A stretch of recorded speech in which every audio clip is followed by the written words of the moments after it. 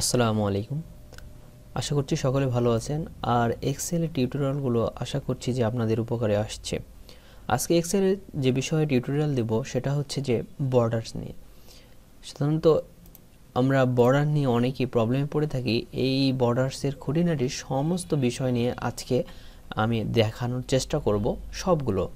সুতরাং এর মধ্যে কিছু বিষয় রয়েছে, যে সমস্যা কিছু রয়েছে, সেগুলো দেখানোর চেষ্টা করব, সেগুলো কি করে ফেস হয় এবং কি করে সেখান থেকে আমরা বের হয়ে আসতে পারি।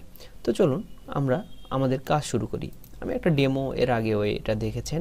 এই ডেমোটাকে আমি যদি এখানে সিলেক্ট করে নিই, আমি এটাকে সিলেক্ট করে নিলাম। নেওয়ার পরে আমি যদি এখানে ক্লিক করি বর্ডারসে এখানে ক্লিক করার পর আমরা এখান থেকে বটম বর্ডার মানে বটম বর্ডারে যদি ক্লিক করি, তাহলে দেখুন আমরা বটম দিকে একটি বর্ডার পেয়ে যাব। এরকমভাবে আমি যদি আবার ব্যাকে যাই, যাওয়ার পরে টপ বর্ডার যদি টপ বর্ডারে ক্লিক করি বটম বর্ডারে আমরা যেহেতু নিচে বর্ডার পেয়েছি, এখন আমরা টপ বর্ডারে যদি যাই, তাহলে টপ উপরের দিকে আরেকটি বর্ডার আমাদের জন্য ক্রিয়েট হয়ে যাবে। আবার এর পরেরটা হচ্ছে লেফট বর্ডার লেফট বর্ডারে যদি ক্লিক করি, তাহলে লেফট সাইডে আমাদের জন্য একটি বর্ডার ক্রিয়েট হয়ে যা গেল।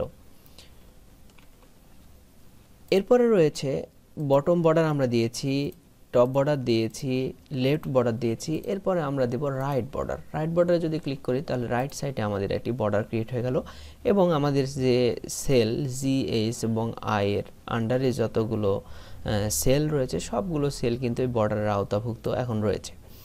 তো এটা গেল ফান্ডামেন্টাল বিষয়, এটা সকলেই আপনারা দিতে পারবেন। তো চলুন নো বর্ডার করে দিই। নো বর্ডার করে দেওয়ার পরে আমাদের আর কোনো বর্ডার নেই এখন ওকে আমরা যেহেতু নো বর্ডার করে যখন দেব, আপনাদের যখন বর্ডারটা ভুল হয়ে যাবে নো বর্ডার করে দিলে কোনো বর্ডার থাকবে না। এরপরে চলুন দেখুন অল বর্ডার মানে বুঝতেই পারছেন, এই পুরো সেলের অল প্রত্যেকটাতে বর্ডার ক্রিয়েট হয়ে গেছে। এখানে ক্লিক করার সঙ্গে সঙ্গে। অল বর্ডারে অল বর্ডার আপনারা ক্রিয়েট করে নিতে পারেন। তো এখান থেকে নো বর্ডার দিয়ে দিলাম। এখন যদি আমরা এখান থেকে আবার যাই আউটসাইড বর্ডার তাহলে শুধুমাত্র আউটসাইডে চারিদিকে আমাদের বর্ডারটা আমরা আউটসাইডে পেয়ে যাব। এরপরে আমরা যদি দেখি থিক বক্স বর্ডার মানে হচ্ছে একটু মোটা টাইপের এখানে যেরকম দেখতে পাচ্ছেন, ঠিক এরকমভাবে। দেখুন, একটু মোটা রকমভাবে এখানে বর্ডারটা আমাদের ক্রিয়েট হয়ে গেছে। এরপর এটাকে যদি সিলেক্ট অবস্থায় আমরা নিচের দিকে দেখি বটম ডাবল বর্ডার তাহলে বটম দিকে, নিচের দিকে আমাদের ডাবল বর্ডার ক্রিয়েট হয়ে যাবে। আবার এটাকে সিলেক্ট আপনারা যে কাজটাই করুন না কেন, পুরোপুরি সবসময় সিলেক্ট অবস্থায় করতে হবে। ঠিক bottom border top and bottom border এটা আমরা এই কয়েকটা আর দেখাচ্ছি না, আশা করছি যে আপনারা এখান থেকে পেয়ে যাবেন। নো বর্ডার দেখে দিলাম নো বর্ডার দেওয়া দেওয়ার পরে আমাদের কোনো আর বর্ডার নেই। এখন ইম্পর্ট্যান্ট একটি বিষয় এখানে রয়েছে, সেটা হচ্ছে ড্র বর্ডারসে ড্র বর্ডারসে আপনি যদি ড্র বর্ডারে ক্লিক করেন, তাহলে ইচ্ছা মতো আপনি বর্ডার ক্রিয়েট করতে পারবেন। এভাবে ধরে যদি আপনারা যেদিক সেদিকে বর্ডার আপনারা ক্রিয়েট করতে পারবেন। আমি যদি মিডিলটারে এরকমভাবে নিতে চাই, সেক্ষেত্রে আমি বর্ডার ক্রিয়েট করতে পারি। কিন্তু দেখুন, আমি যদি এ পাশ থেকে এখান থেকে এখানে নিয়ে যাই, তাহলে আমাদের বর্ডার ক্লিয়ার হবে না। এখান থেকে যদি আমি ধরে এখানে নিয়ে যাই, তাহলে আমরা এখান থেকে এক সেলের এক কোণা থেকে আরেক কোণে আমরা করতে পারছি। লাইক ড্যাট এই পাশ থেকেও আমরা এ পাশে করতে পারছি। আবার উপর থেকে নিচেও যদি আমরা করি, তাহলে এই সেলের উপর থেকে নিচে আমরা কখনো ক্রিয়েট করতে পারব না ড্র বর্ডার্সের মাধ্যমে। আর এভাবে প্রত্যেকটা সেলে আমরা যদি ক্লিক করি, তাহলে আমাদের বর্ডার আমরা ক্রিয়েট করতে পারব এভাবে।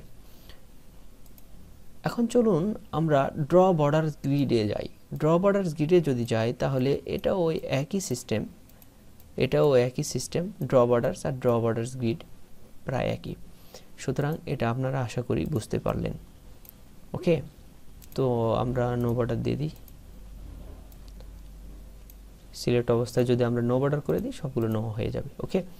তো এখন ইরেজ বর্ডার আমরা আগে বর্ডারটা দিয়ে নিই। ইরেজ বর্ডারটা দেখানোর আসলে কিছু নাই অল বর্ডার এখন যদি আমরা এখান থেকে ইরেজ বর্ডারে ক্লিক করি, তাহলে ধরুন এই বর্ডারটা আমাদের দরকার নেই জাস্ট আমি যদি এখানে ক্লিক করি তাহলে এই বর্ডারটা আমাদের ইরেজ হয়ে যাবে। এখান থেকে বর্ডারটা কেটে যাবে। ওকে তো এই গেল মোটামুটি ড্র বর্ডার ইরেজ বর্ডার নিয়ে কথাবার্তা। এখন চলুন দেখি ইম্পর্টেন্ট লাইন বর্ডার আর হচ্ছে লাইন স্টাইল নিয়ে। তো এটা আমি একটা ব্ল্যাঙ্ক এখানে যদি আমি বর্ডার্স নিয়ে নিই অল বর্ডার্স এখানে দিয়ে দিলাম। এখানে কেন দেখাচ্ছি এটাও একটু পরে বলছি। এখানে এই পুরোটা সিলেক্ট অবস্থায় এখান থেকে লাইন বর্ডারে যদি যাই, তাহলে দেখুন এখানে আমরা আমাদের লাইন বর্ডারের লাইনটা আমরা কীরকম দিতে চাই, সেটা এখান থেকে আমরা দিতে পারি। এবং এখানে লাইন কালার এটা এবং লাইন স্টাইল এই দুই ধরনের অপশন আমরা এখানে পেতে পারি। তো ধরুন এখানে বিভিন্ন ধরনের অপশন এখানে দেওয়া রয়েছে। আমি এই ডাবল বর্ডারের এটা আমি নিয়ে নিলাম। সেক্ষেত্রে আপনারা লক্ষ্য করুন, এখানে আমাদের এক এক করতে কিন্তু ড্র বর্ডার দ্বারা আমাদের কিন্তু এটা ক্রিয়েট করে নিতে হবে। প্রত্যেকটাতে আমরা একটা এক করে এভাবে প্রত্যেকটা সেল সিলেক্ট অবস্থা আমরা কিন্তু এটা করে নিতে পারি। তো এটা আমরা এভাবে ডাবল বর্ডার প্রত্যেকটা কেন করে নিতে পারব না? সেটা এক ধরনের প্রশ্ন আসতে পারে। সেটা আমি দেখাবো। ওকে? তো এখন যদি আমি এখানে লাইন স্টাইলটা গেল লাইন স্টাইল আমি একটা দিয়ে দেখিয়ে দিলাম। আপনার এখানে অনেকগুলো লাইন স্টাইল রয়েছে, এগুলো আপনারা দেখে নেবেন। এবং লাইন কালারে যদি যাই, তাহলে আমি যদি ধরি লাল, এই কালারটা আমি চুজ করছি, সেক্ষেত্রে কিন্তু আমাদের সব বর্ডারটা লাল কালার হয়ে যাবে। এখানে যদি আমি ক্লিক করি, আমি যদি নতুন কোনো বর্ডার নিতে চাই, সেক্ষেত্রেও কিন্তু আমাদের এখানে লাল আকার ধারণ করবে। এবং এই সাইডে যদি আমি নিতে চাই, সেটাও কিন্তু আমরা এখানে লাল আকার ধারণ করে নিতে পারি। এবং এখান থেকে যদি আপনি কালার চেঞ্জ করে দেন, এখান থেকে যদি আপনার পছন্দ মতো আপনি কালার চুজ করে দেন, সেক্ষেত্রে এটা আসলে সাদার ক্ষেত্রে দেখা যাচ্ছিল না। এখান থেকে লাইন কালারের মাধ্যমে আপনারা, আপনাদের পছন্দ মতো যেরকম ভাব পছন্দ করেন সেই রকম এখানে বর্ডার আপনারা এখান থেকে কিন্তু তৈরি করে নিতে পারেন। এটা হচ্ছে এক্সেলের একটা খুব বড় একটি গুণ। তো এখান থেকে আমি এটাও কালার চেঞ্জ করে নিলাম এবং এখান থেকে যদি আমি এখন দেখাবো মোর বর্ডার্সে গিয়ে।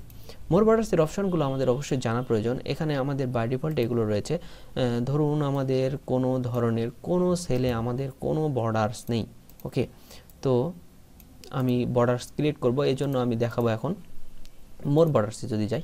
মোর বর্ডার্সে যাওয়ার পরে এখানে বর্ডার্সের অপশান থেকে আপনারা কতগুলো অপশান এখানে দেখতে পাবেন এবং এখানে প্রিভিউ আকারে দেখানো করা দেখানো দিয়ে দেখানো হয়েছে আর কি। তো এখানে প্রথমে নান এরপরে এখানে কতগুলো বর্ডার্স আমরা এর আগে দেখলাম, সেগুলো এবং এখানে যদি নান করে দিই, তাহলে কোনো বর্ডার নেই প্রিভিউ আমাদের দেখাচ্ছে না। আউটলাইনে যদি ক্লিক করি, তাহলে দেখুন আউটলাইনে এখানে আমাদের বর্ডার্সগুলো এখন দেখাচ্ছে না। এটা যদি আমরা ওপেন করে দিই, এগুলো সবগুলো যদি ওপেন করে দিই, ধরুন একটু সিলেক্ট করলাম, করে আমরা যদি মোর বর্ডার্সে যাই, যাওয়ার পরে দেখুন আমরা এভাবে কিন্তু বর্ডার্স ক্রিয়েট করে নিতে পারি। এখানে ক্লিক করছি, তার মানে এরকম হয়ে যাচ্ছে। আমি যদি এটা ওপেন করে দিই, উপরের দিকে যাবে, এটা যদি করে দিই, এটার দিকে এরকমভাবে আমরা ইনসাইড বর্ডারে যদি যাই, তাহলে ইনসাইড হয়ে যাবে। আউটসাইড বর্ডারে গেলে চারিদিকে আউটসাইডে আমাদের এই দাগ চলে আসবে। এভাবে আমরা এখান থেকে কিন্তু বর্ডার ক্রিয়েট করে নিতে পারি। এবং এখানে একটি মজার বিষয়, সেটি হচ্ছে তার আগে আমি আপনাদের একটু সমস্যা দেখাই। এখন এটা ভালো করে লক্ষ্য করে দেখুন, এটা এখন কালো কালারে রয়েছে। দেখুন, এই কালো কালারের বর্ডার আমাদের ক্রিয়েট হয়ে গেছে। তো আমি এখান থেকে এখন যদি মোর বর্ডারসে গিয়ে যদি আমি এই এটা দিয়ে দিই, দিয়ে দেওয়ার পরে যদি আমি ক্লিক করি তাহলে চেঞ্জ হলো। কোনোটাই কিন্তু আমাদের চেঞ্জ হয়নি। এর কারণ রয়েছে, এর কারণটা আমি একটু পরে বলছি। এখান থেকে যদি এটা এখনই বলে নিই নান করে দিলাম, দেওয়ার পরে আমি যদি এখন এটা সিলেক্ট অবস্থায়, এখন যদি আমি আউটসাইডে দিয়ে দিই এবং ইনসাইডে দিয়ে দিই, সবগুলো কিন্তু বর্ডার্স আমাদের এভাবে শো করাবে। এবং এখান থেকে যদি আপনি কালার এখন চেঞ্জ করে দেন, তাহলে কালারটা এখানে চেঞ্জ হবে না। আপনাদের আগে কালার চেঞ্জ করে নিতে হবে। যেমন নান করে দিলাম, দেওয়ার পরে এখান থেকে যদি ব্ল্যাক এটা ছিল তারপরে যদি আমি এটা আগে সিলেক্ট করে দিই সব কিছু নান করে দিলাম। এটা আমাদের আগে সিলেক্ট করতে হবে। এরপরে আপনি যে কালারটা দিতে চান, সেই কালারটা আপনাদের এখান থেকে সিলেক্ট করে নিতে হবে। যদি আমি লাল কালার দিলাম, দেওয়ার পরে এখন যদি আমি ক্রিয়েট করি, তাহলে আমাদের লাল কালারটা চলে আসবে।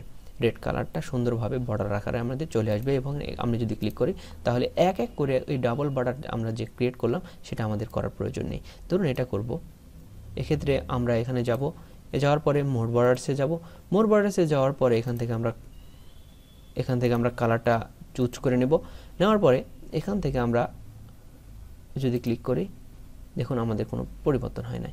এক্ষেত্রে আমাদের এখানে আমি বলেছিলাম যে সমস্যা কিছু ফেস করতে হবে এবং আউটলাইন এবং ইনসাইড এটা যদি আমরা সিলেক্ট করে দিই, সেক্ষেত্রে কিন্তু আমাদের হয়ে যাবে। সেক্ষেত্রে আমাদের, আমরা যেহেতু লাল কালার দিতে চাচ্ছি, সেহেতু রেড বর্ডার আমরা দিয়ে দিলাম।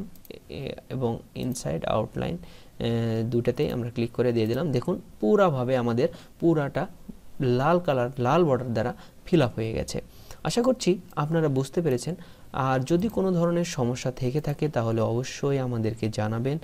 আর আমরা চেষ্টা করব এই সমস্যার সমাধান দেওয়ার জন্য। তো সকলেই ভালো থাকবেন। আর পরবর্তী বিভিন্ন ভিডিও পেতে এক্সেলের এবং বিভিন্ন টেক ভিডিও পেতে আমার চ্যানেল অবশ্যই সাবস্ক্রাইব করবেন। ধন্যবাদ।